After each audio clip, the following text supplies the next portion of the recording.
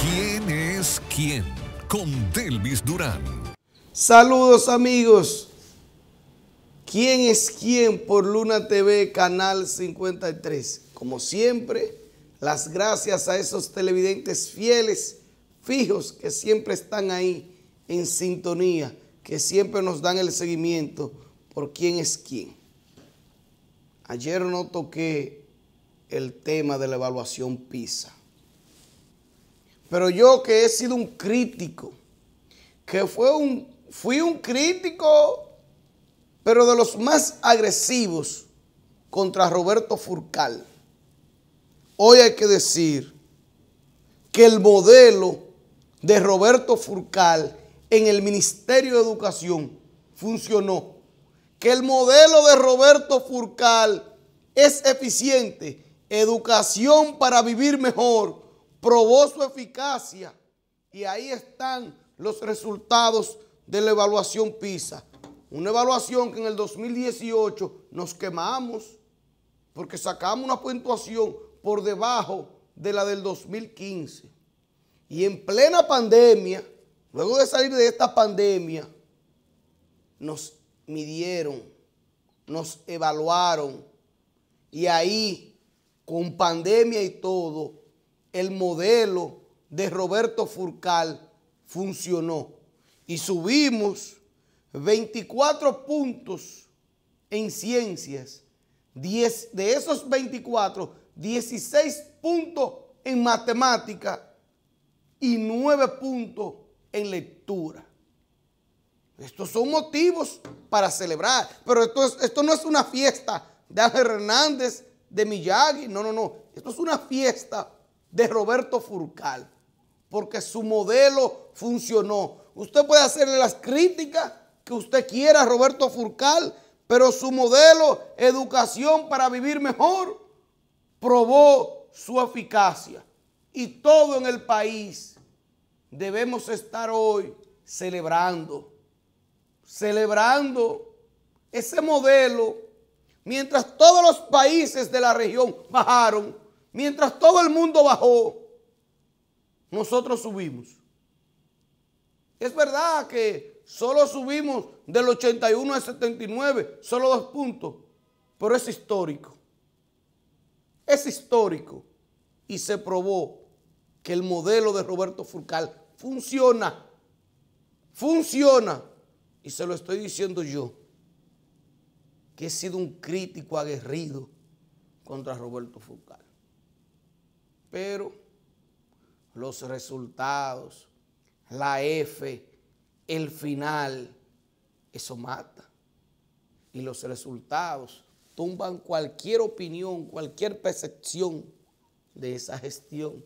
Ah, Delvis, es cierto que hay resultados desde cuando se implementó el 4% de la educación, desde cuando Carlos Amarante Baré, hay resultados que se van a ver ahora y que se van a ver en 10 años. ¿Por qué?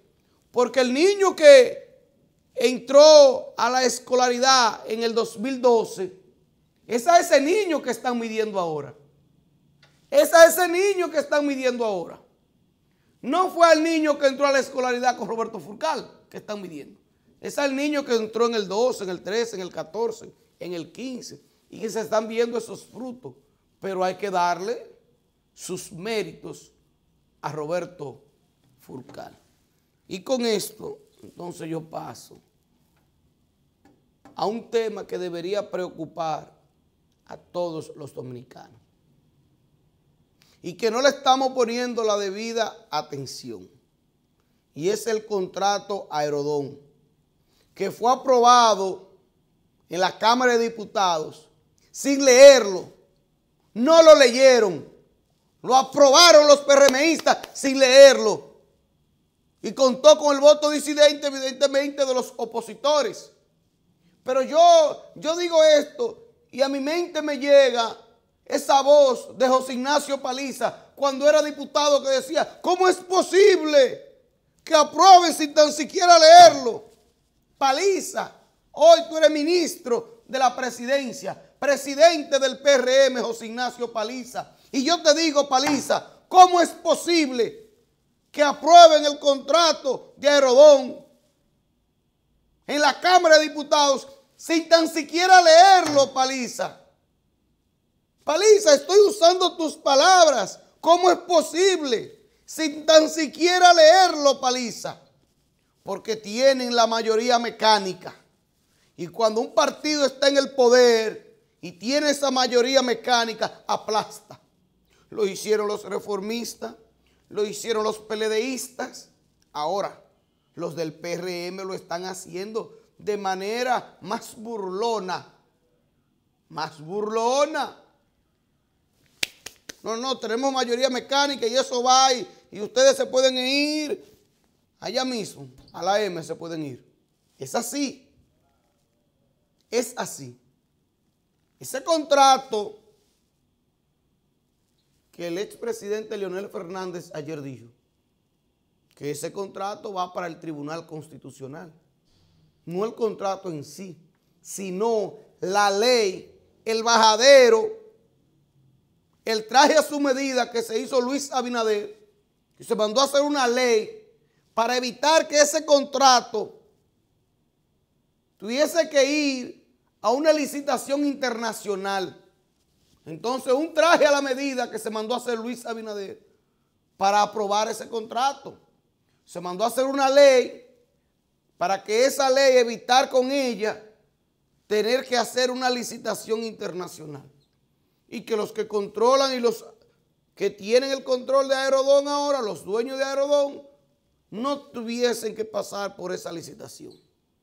Y se le entregó un dinero o se le va a entregar un dinero al gobierno, se le va a entregar un dinero en seis meses, que evidentemente ustedes saben que ese dinero será para la reelección, para campaña. Porque no hay posibilidad alguna que con ese dinero se ejecute ninguna obra. Porque es sencillamente no tiene tiempo el presidente Luis Abinader para ejecutar en estos, seis en estos cinco meses que le quedan de gobierno, no le da, yo hablo de cinco meses para las elecciones, pero habría que sumar la transición. Pero no, en estos cinco meses no dan para el presidente Luis Abinader ejecutar una obra. No dan cinco meses ni para la licitación, y ni para hacer el estudio de suelo o el estudio de factibilidad. No da el tiempo para eso, mucho menos para la licitación, mucho menos para empezar, para ejecutar una obra. Delvis, pero que Luis se va a reelegir. No, no es así. Es los plazos. El presidente Luis Abinader termina su mandato tres meses después de las elecciones de mayo. Y en una transición nadie anda haciendo licitaciones ni ejecutando obras. La, transición es para recoger y organizar. No son cinco meses que faltan. Entonces, yo no, yo no, yo no quiero que me malinterpreten. Pero hay que dar la razón a Leonel Fernández cuando dice, oye, pero ese dinero es, es claramente para la reelección, para campaña. Le van a entregar del contrato de Herodón el 50% y se lo van a entregar ahora. Y eso, eso claramente es para comprar la reelección.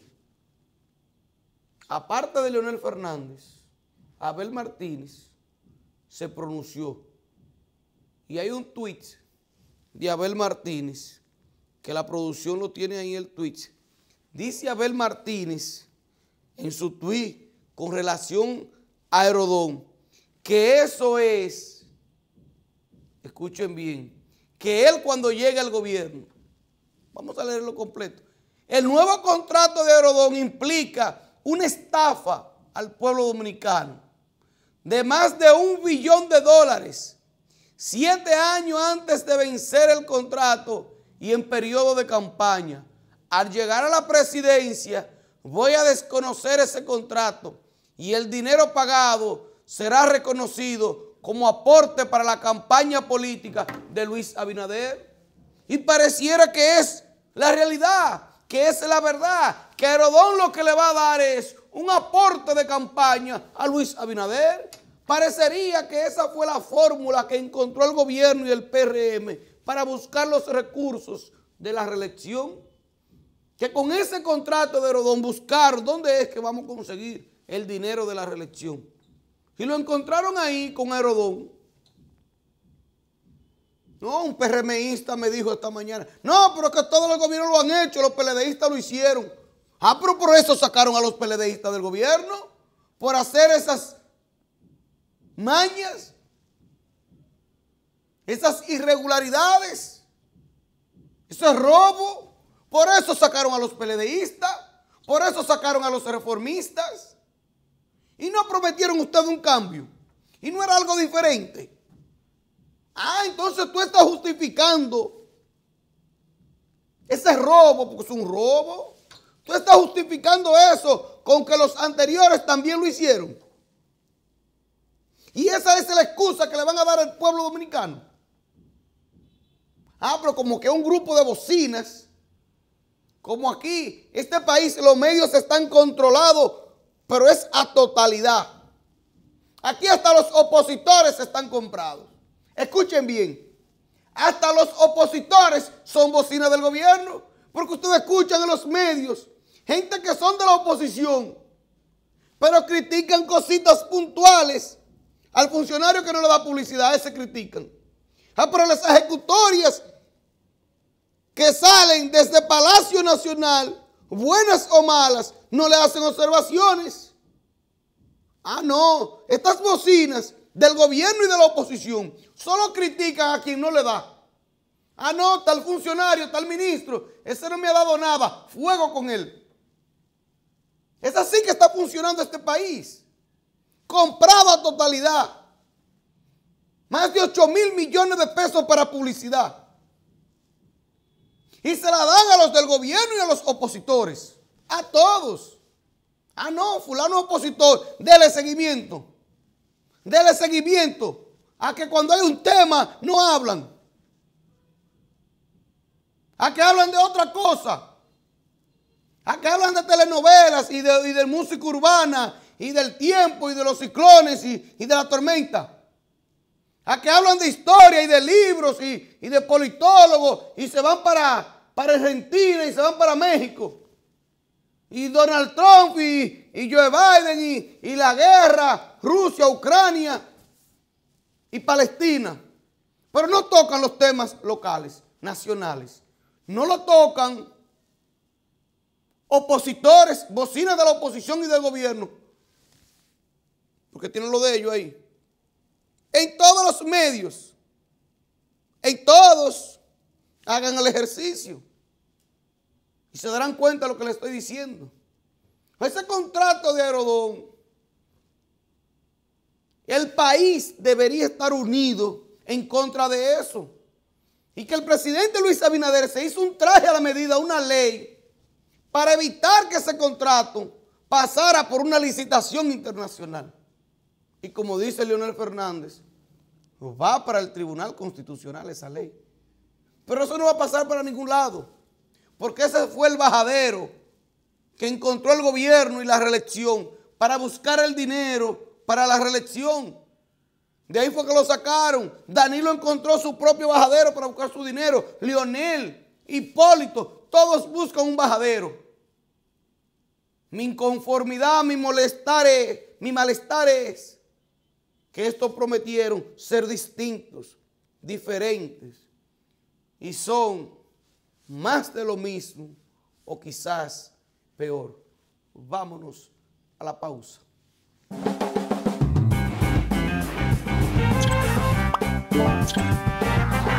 ¿Quién es quién? Con Delvis Durán.